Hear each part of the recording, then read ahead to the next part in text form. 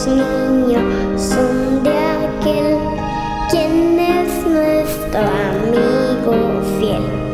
Cristo me ama, Cristo me ama.